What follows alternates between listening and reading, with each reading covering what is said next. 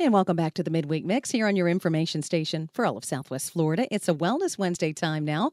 And do you take heartburn medication, the OTC medication, such as Prilosec? Well, you're going to want to keep it right here. We're going to let you know the little known dangers of these popular pills that millions of Americans and frankly people all over the world take every day. Dr. Mark Ratner is with us, who describes himself as a prisoner of Prilosec. He says it wasn't until he landed in an emergency room with an irregular heart rhythm that he began to realize the serious side effects from popular medications that Americans use every day. Uh, they ran several tests on him. The only abnorm- abnormality found in his blood work was a low magnesium level, which could have been corrected with basic supplementation. His long term use of popular over the counter heartburn meds was the apparent culprit. Research shows that chronic use of both proton pump inhibitors, those PPIs for heartburn, or metformin, which is used to treat type 2 diabetes, can lead to low magnesium levels. He is here today to uh, speak with us and uh, just kind of give us the skinny on everything. I'm so glad you're here, Dr. Ratner. You say you experienced a medication induced nutrient depletion that landed you in the ER. What is that and how did it happen? So, what happened to me was that uh, about 20 years ago, I started taking uh, Prilosec, uh, which is uh, an acid blocking medication. I had actually been complaining to a friend of mine who uh, was an internist and uh, about the heartburn that I was suffering really chronically uh, and had been for years. And he, he gave me some samples of Prilosec, which at that, at that time was a prescription medication. Mm-hmm. and, you know, it's now available over the counter. So I started taking it. And if anybody, any of your listeners has ever taken one of these medications, you they'll know it's it's like you flip a switch. Your stomach acid production just goes to zero, and so your heartburn symptoms immediately disappear. Okay. The reflux doesn't go away, but because there's no more acid being produced in your stomach, you don't have any symptoms from it. Um, and so it was terrific. It was just great. And, you know, sort of uh, foolishly, I just stayed on it and um, uh, I didn't realize, and I, I, it may not have even been known at that point, that when you completely block your stomach acid production, you then run into trouble absorbing certain nutrients from your diet. Oh. Um, and so what happened to me was, oh, probably about five or six years ago, after having been on this medication for at least 10 years, um, I woke up in the middle of the night with uh, my heart literally just pounding out of my chest. I had developed an irregular heart rate and heart rhythm, and I, you know, kind of got rushed over to the emergency room.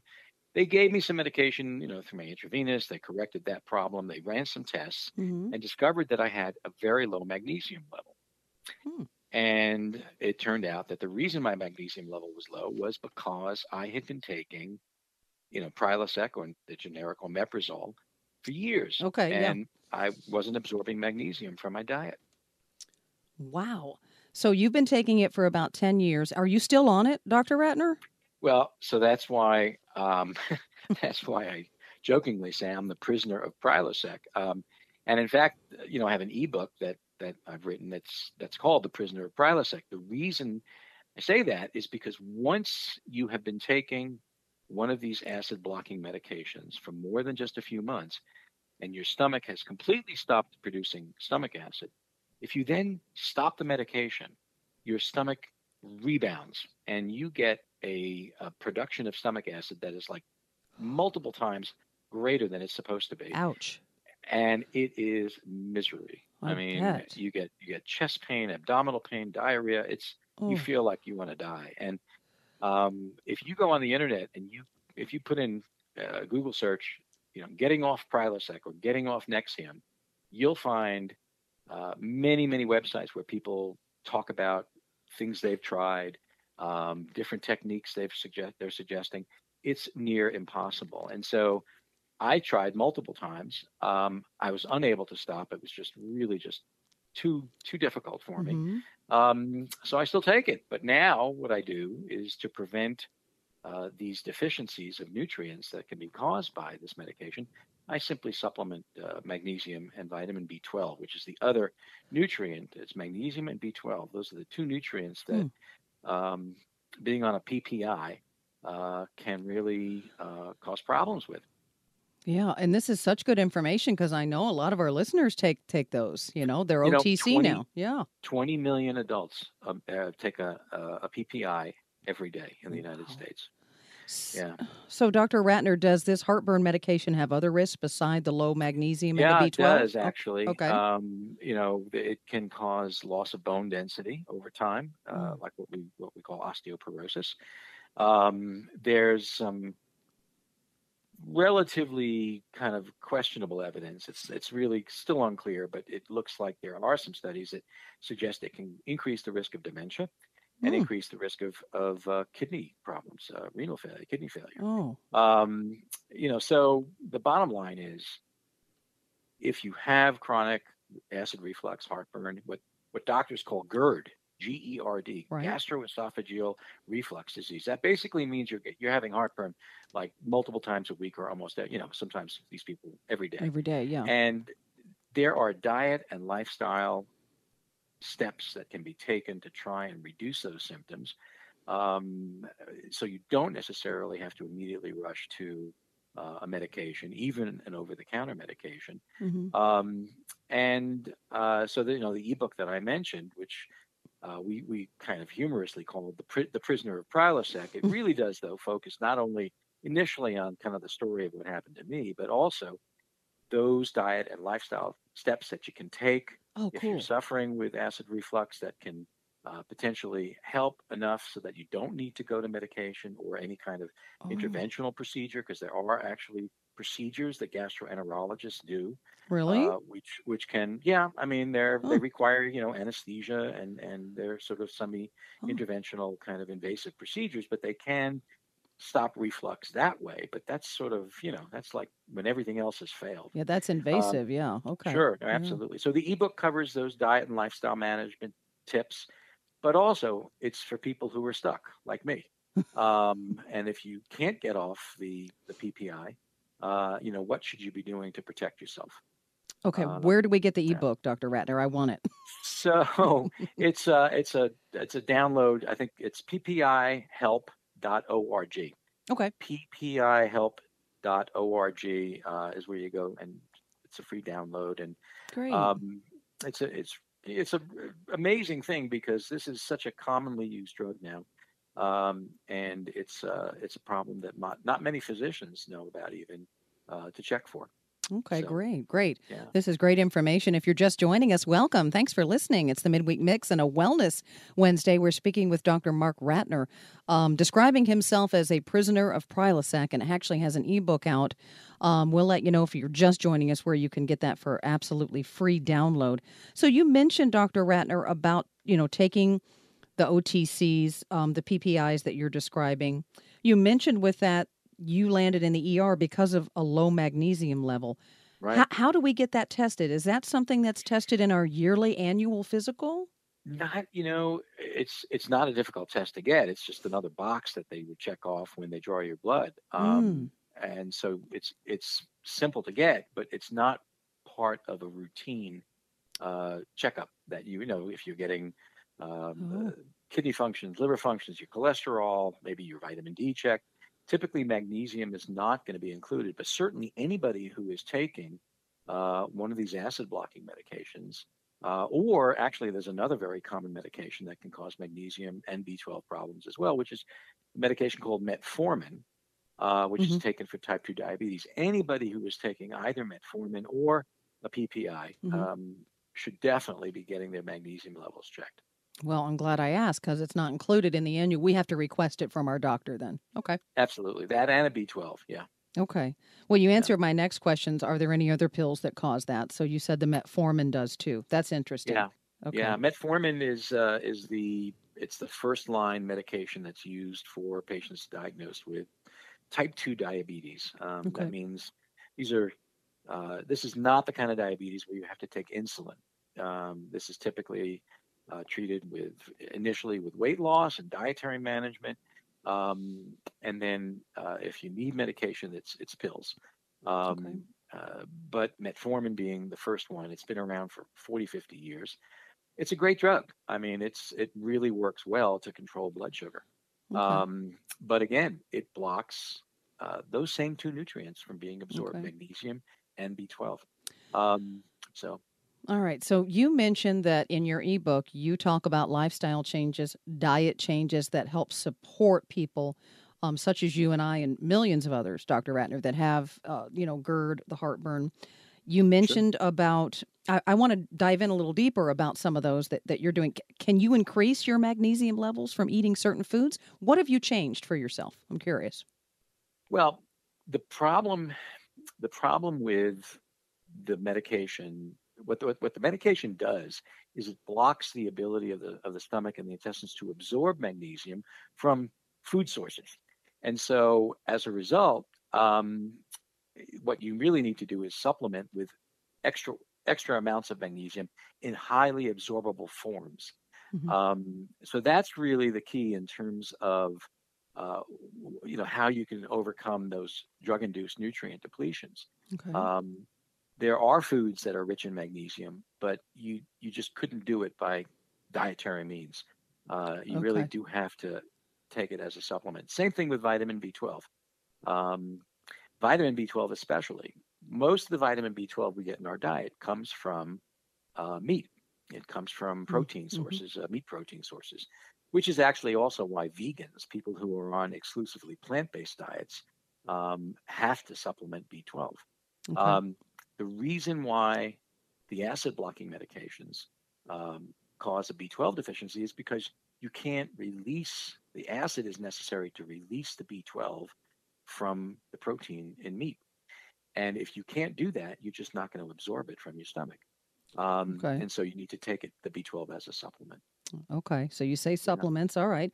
So, yeah, yeah. do most doctors advise taking supplements if you are using those two medications, like we discussed, the PPIs, the metformin? And how would you start that conversation with your doctor if he or she is not knowledgeable about supplements? What do you suggest? That's a great question, um, because um, uh, you know, honestly, uh, if a doc is not necessarily informed about a particular problem. There is um, uh, we some doctors jokingly call it NIH syndrome, not invented here. Uh, I'm, I'm, I'm, not I'm not familiar with that. I'm not aware of that, and so it doesn't really exist, does it? Mm-hmm. Um, yeah, and so it's a delicate uh, discussion to have. You have to say, look, doc, I've I've read that uh, people who are on this medication that I've been taking for years um, are prone to uh, getting a low B12 or a low magnesium, and can I get that checked?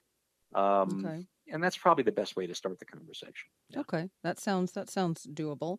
So, what about the FDA, Dr. Ratner? Have they have they come out with any um, recommendations? What do they have yeah. to say about oh, these medication? Yeah. Any well, health um, warnings? So, for instance, metformin has a black box warning. Um, What's that mean? Metformin. It, it, means the FDA the FDA came out with a uh, um, a warning. They, they put a heavy black box around it the, on the product insert, so it's always been called a, a black box warning. But um, whenever they do that, but basically, people who are on metformin, um, if your doctor is prescribing metformin to you, mm-hmm. then he or she uh, has been instructed by the FDA to check your magnesium levels. Oh. Um, yeah, so the FDA is on top of that. I mean, they make that recommendation. The problem with the PPIs, though, is that 70% of people who are taking them now are not doing it under a doctor's care because they're available over the counter. So it's very, you know, if you go to the drugstore and you buy omeprazole um, over the counter, mm-hmm. you can't buy more than a 14 day supply. Really? The, yeah, the FDA will only allow a 14 day supply to be packaged. And on the bottle or on the box, it says, do not take this product for more than 14 days. Hmm. Um, but, you know, people do. Every, yeah. People do. I do. Hmm. so, um, you know, once you're on it, like I said, it's it's really d- difficult to get off of it. Mm. Um, and that's the problem with the PPIs because most of them are being taken really outside of a, of a physician's supervision. Okay. Yeah. This this might sound like a really silly question, but what causes heartburn? Is it something you get as you get older, or do young people have heartburn? What young do you people, know? Young, no, you're absolutely right. Young people can have it also. Wow. And so, so the the tube that leads down from from her mouth to her stomach, which is called the esophagus, where where the esophagus, that food tube meets the stomach, there is a ring of muscle. It's a circular muscle. We call mm-hmm. that a sphincter mm-hmm. muscle. And when your stomach is full, um, that sphincter muscle is supposed to stay closed tightly. As food comes down, the food tube, as it goes into the stomach, that, mm-hmm. that round muscle opens up. It lets the food go into the stomach, and then it's supposed to close tightly. But if that sphincter muscle has lost some of its tone, in other words, if it's loose, what happens is the contents of the stomach are able to easily reflux backwards up into the esophagus or food tube. Mm-hmm. And it can go all the way up into your throat. I mean, people who have bad heartburn will tell you when they lay down at night, they mm. get a burning sensation in right. their throat. Um, and so that kind of points to one of the tips that, that we talk about in terms of uh, the lifestyle management, and that is um, you can try actually putting some six inch blocks under the head of your bed. If you elevate the head of your bed um, so that you know you're you're kind of slanted, you're sleeping in a bit of a, at a bit of a, an angle, mm-hmm. um, you can reduce the amount of reflux that you're getting uh, at night.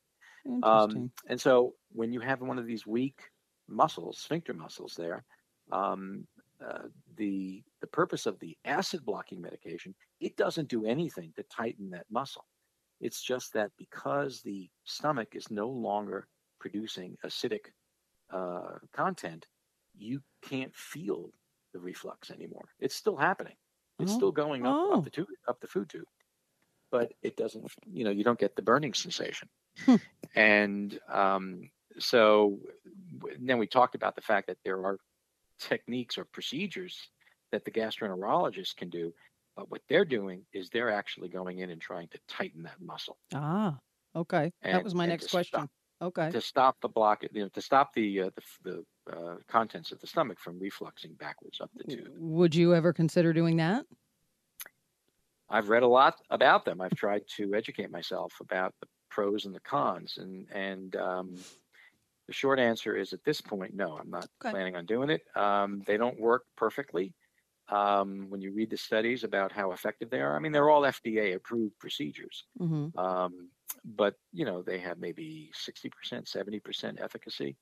Um, okay. And there's always risk, you know. Sure. Never, never, never let a surgeon or interventionalist tell you that uh, a procedure is without any risk at all. There's always the possibility.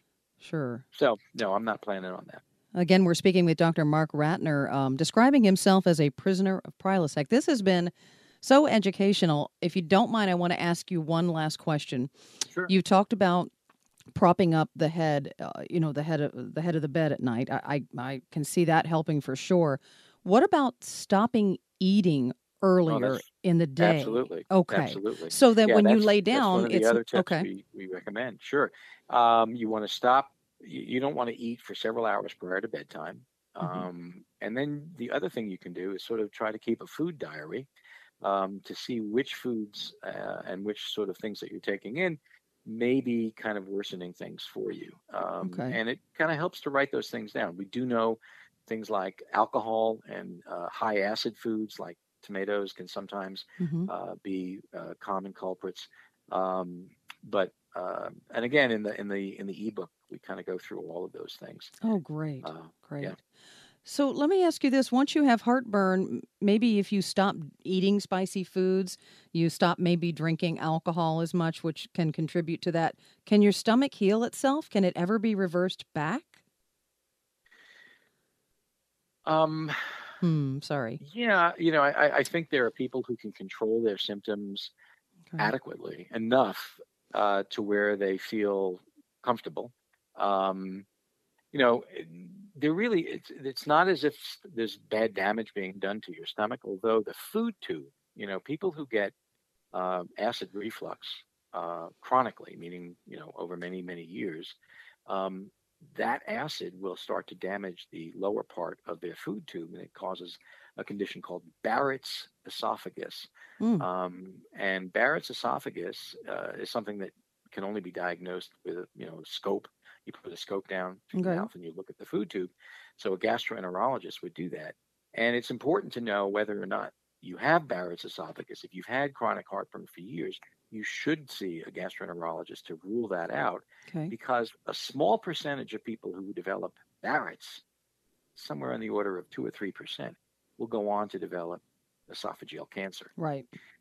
So mm-hmm. it, it's um, it's the kind of thing that yes, it's uncomfortable. Yes, it sort of can make you miserable in terms of not being able to eat certain foods. Um, but there can be some significant health consequences as well. Okay. Uh, so if you have chronic heart, anybody who has chronic heartburn should discuss that with their doc. Should not try to you know medicate themselves on in the long term. Okay. Well, this has been so wonderful. Dr. Mark Ratner, the author of Heartburn, Acid Reflux, and GERD What You Need to Know. I also see you're the Chief Science Officer at Theralogix. So, where can we find out more about that? Um, Theralogix.com. It's T H E R A L O G I X.com. Mm-hmm. Um, is uh, that's the company where I'm the chief science officer. But in terms of getting the uh, you know the kind of like the information about people who would, who have acid reflux and GERD, mm-hmm. um, that's ppihelp.org. Okay. So it's just ppIhelp.org. Uh, or you know, for people who are taking metformin and want to know kind of how they can stay out of trouble as well. I think uh, that's metforminhelp.org. Wonderful. I love what you're doing, and thank you for helping us. Uh, you know, the, us people that uh, also uh, suffer with this condition. You know a lot about it, don't you? uh, well, I learned the hard way. You learned the hard way. Well, I'm glad yeah. you're okay, and best of luck to you. And thank you. I, am so happy that your uh, your your books are they're free ebooks, so we can get yep. both the metformin and the PPI. So thank you so much for being on the show today, Dr. Welcome, Ratner. Carrie, thank you for having me. All right, you bet. Take care of yourself. Dr. Mark Ratner. And that was so wonderful. I hope you learned. I know I did. Again, you can log on. It's ppihelp.org and then metforminhelp.org. Uh, thank you so much for being here on the Midweek Mix. We'll be right back to wrap up the show coming up next.